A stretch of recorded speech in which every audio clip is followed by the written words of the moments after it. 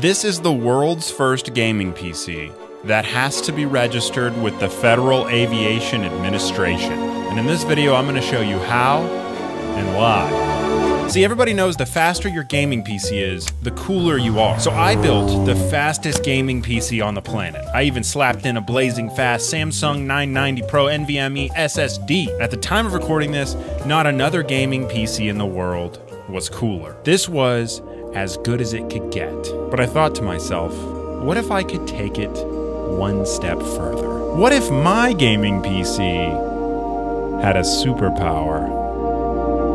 If you want to build a gaming PC that can fly, you're going to need a few things. So here's the ultimate guide on how to build a gaming PC that can fly. First, you're going to want to build a gaming PC. So pick out a case, make sure that it's light, and make sure that it has handles on it. That way it's designed to be carried. You get bonus points if you put a Samsung 990 Pro in it, or rather, superior loading time. Last thing you want is to be stuck at a loading screen while you're airborne with four minutes of flight time remaining. Once you've got your gaming PC, the rest of this is aviation equipment.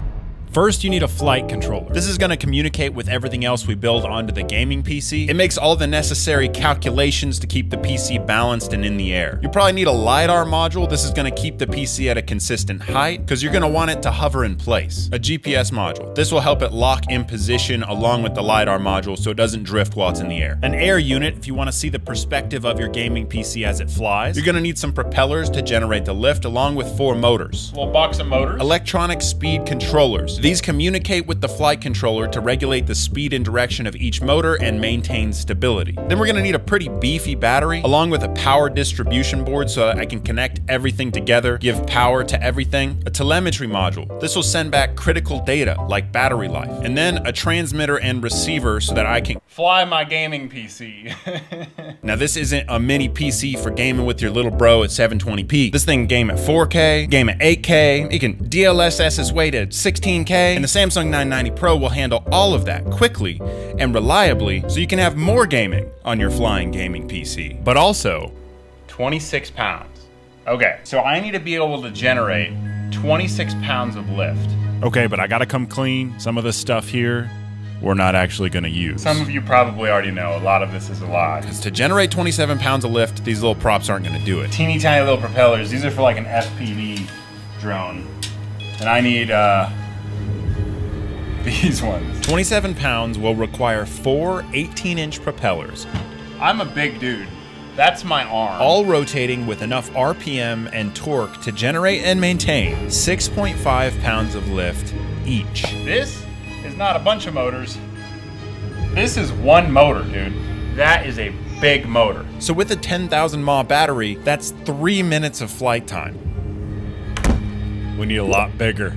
They all have a C rating, which is how fast they can discharge. 23,000 mAh at 25 C. This thing can power like 15,000 watts for like three minutes. Like that's how fast it can discharge this battery, which is insane. So after doing all the math, the propellers are gigantic and scary. now a flying sword. The motors are super expensive and huge because they have to have enough torque to move the propellers. Kilovolts basically equals lower number better according to my research. Power distribution boards rated for like 400 amps. I need this one.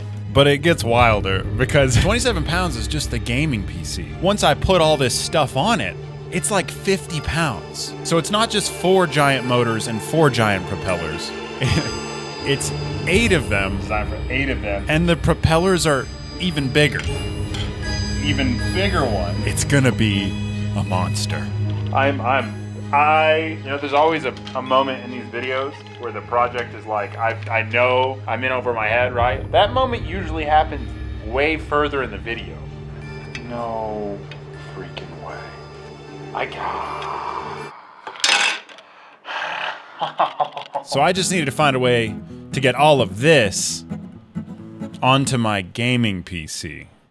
So where did I start? From a sketchy used drone frame on eBay, because that's where any good project starts, with sketchy used parts from the internet. It's a little banged up. It's a little banged up, maybe. The idea here is that the banged up sketchy drone frame that I got from some random dude on the internet Oh, oh. can bolt to the top of the really cheap, lightweight PC case that I got from Amazon specifically because it had a bunch of holes in it. And then if I did all the math right, that'll be a gaming PC that can fly. This thing's gonna be stinking nuts, dude. Wow, when I say it out loud, it sounds a lot uh, less likely to happen. So there's this thing that people do that I couldn't help but think about the entire time I was building this. See, there's this weird thing that happens where humans sometimes think something's impossible, but then after someone does it, suddenly everybody can do it. I think about this frequently. It first hit me when I was 13. I was watching the X Games, and there's this competition where some guys on a dirt bike with a limited amount of run up try to see how high they can jump the bike. Like, how high can they go? And so in 2010, they got about 34 feet high, and that was the gold medal. In 2011, they got 37 feet high. That was the gold medal. But see, everyone said 40 feet is impossible. You can't get to 40 feet with the amount of run up you have, with the amount of horsepower the motors have. Like, you can't even land without getting hurt. It was just, it was impossible. But then suddenly, one guy did it. He hit 40 feet. And then get this the guy right after him, 40 feet and it wasn't even over, more and more riders were hitting 40 feet, which 30 minutes ago was impossible. You know, at one point, the smartest minds in the world thought that running a mile in less than four minutes was just humanly impossible, physiologically impossible. It won't ever happen. It's like we insist on this self fulfilling prophecy that we can't go any further until there's one guy who just believes they're all wrong. Or maybe he forgets that the experts say it's impossible and stops fixating on the limits and wonders how high he can go. See, there's a term for this. It's called the Bannister effect. And it's like, we know about it, there's a term for it. Why do we do it? Why, why do we do this? So the obvious train of thought is then what do we think is impossible right now at this very moment? That one day will just be common sense. Of course, we can run a mile in four minutes. Of course, we can fly. What are you capable of right now, at this very moment, that you say, no, not me, man? I can't run a four minute mile. That's impossible for me. Other people can do that. Why do we insist on things being impossible when time and time again we prove to ourselves that we're wrong? I mean, any old random dude with a few hundred bucks and a laptop, can build an aircraft? So, to answer the question, I don't know. Why do we run in circles and see who can do it the fastest? Why do we get on a dirt bike and see who can jump it the highest? Why did we ever need to fly in the first place?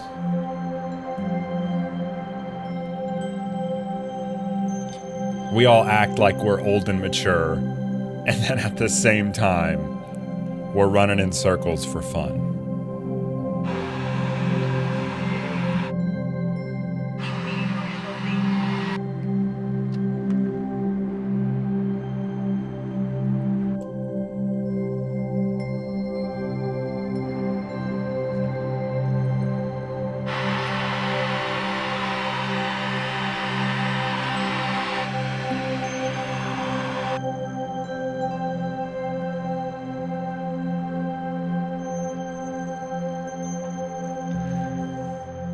And this was pretty much the face I made for the rest of the build. Once all the aviation equipment was configured, I just had to connect it to my gaming PC so it could fly. I was stressed about the center of gravity. The center of gravity is really important because if there's a bunch of extra weight on the front because of the power supply, then these front motors have to work extra hard and they might have to work outside the rating or right up to the rating, which would make them really hot and it would drain the battery faster and it would be scary. Lots of this is scary. My first thought was to use 60 millimeter aluminum standoffs, and I would just put a bunch of them on the bottom of the thing. But then I got them all installed, did a little research, and I was real sketched out, man. Like the shear strength and, and aluminum, and like the threads can rip out, like sketchy. Now, I knew I was gonna have to install the CPU cooler with some standoffs. That way I could thread directly into these holes on top of the gaming PC. So I went ahead and disassembled it, and then I put some shorter standoffs on the bottom of the aviation equipment and just just lowered it on there to see if I could bring it all together. Theoretically, I lower it down. I was basically just hoping some of the holes would line up. It was hope. First leg off. Wow. Um, oh my goodness. Oh my goodness. Ooh.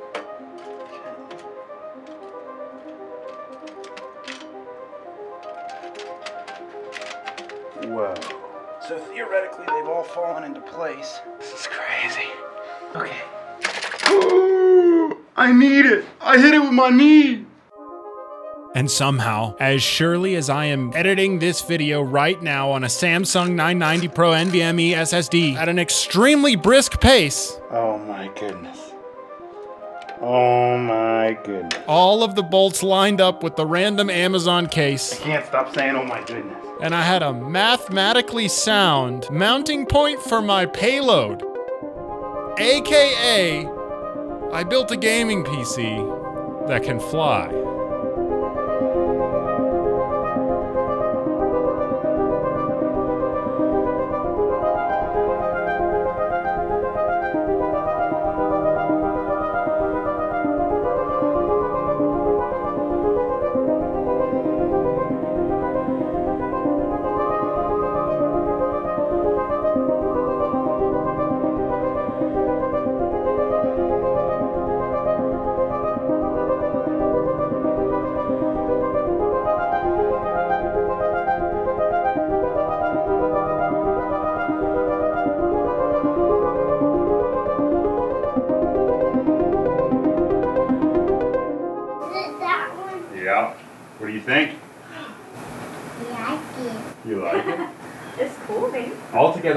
45 pounds. What if it drops it?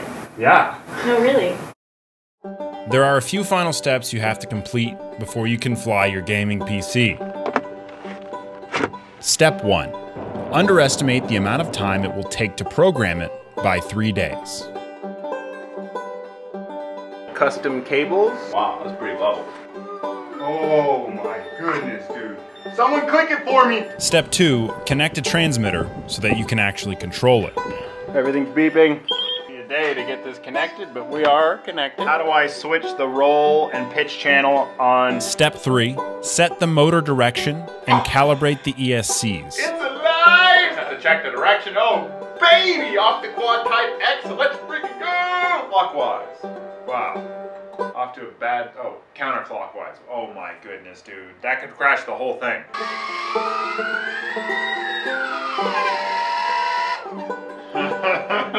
Then put the propellers on. Say a prayer. Make sure you're really, really far away from anything with limbs. Oh, and register your gaming PC with the Federal Aviation Administration and make sure you're a Part 107 commercial UAV pilot. GPS, battery. And it's time to fly. Oh my goodness. Arming now. It's armed. Give it some throttle.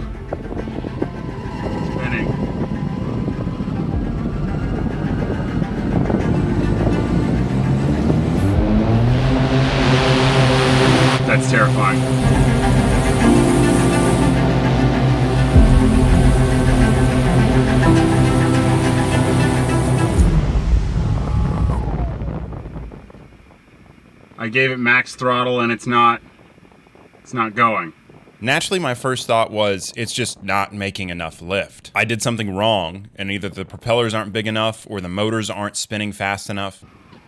What? But then on my second try, I got a voltage warning, Battery 1 is critical 18.98 VUs 0 mod. which usually means the wires are too small or you have a bad battery. Battery fail safe. Something's causing too much resistance, making the motors not get enough voltage. This little adapter I made, it looks like it may be making it drop like 0.5 volts or these little adapters I got from the internet.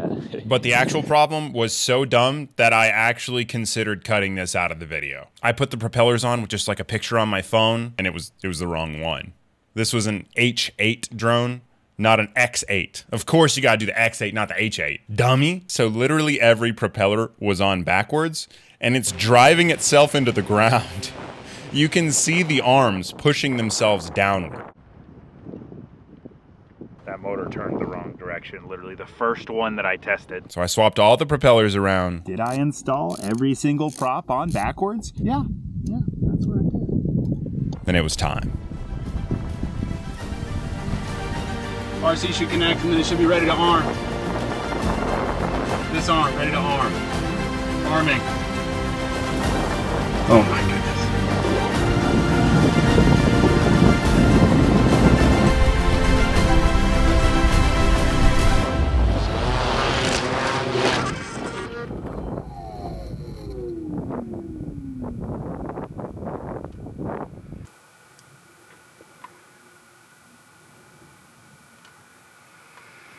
The fleeting high of motivation was gone. I had failed. I can't run a four minute mile. Who am I kidding? I could probably barely run a full mile. I've got a friend that can do it, but I can't jump a dirt bike. Truth is, this is just a YouTube video. When it's over, you've got to look back at reality and realize that maybe I'm not the one to do something no one's ever done before. Gaming PCs don't fly. You see, in my ignorance, I put the flight controller on at a 90 degree turn to the left, thinking that it would just know that it's 90 degrees to the left. But you have to manually go in and configure the orientation in Mission Planner, and since mine was turned to the left, in order to try and counteract the, the gusts of wind that were happening, it spun up the wrong motor and just couldn't balance.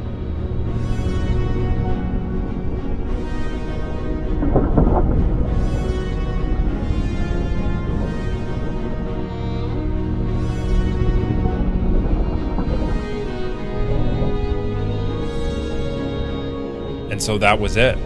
It was over. But then I got to looking at it. There were no severed wires. I was able to bend the arm back. All of the props were intact. It I had another chance. Like somehow that crash didn't break anything. Even the 4090 inside was safe. So I made some adjustments. I reset and it looked like maybe, just maybe, This is it. If it doesn't work this time, it's over. it was gonna work.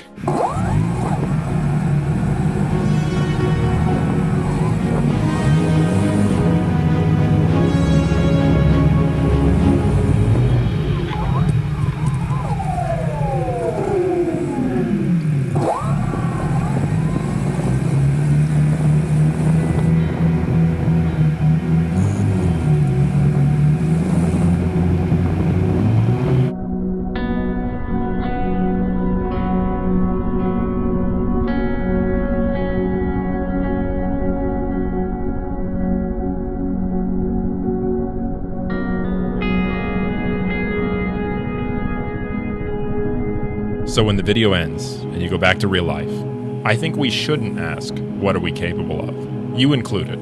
Rather, what are we not capable of?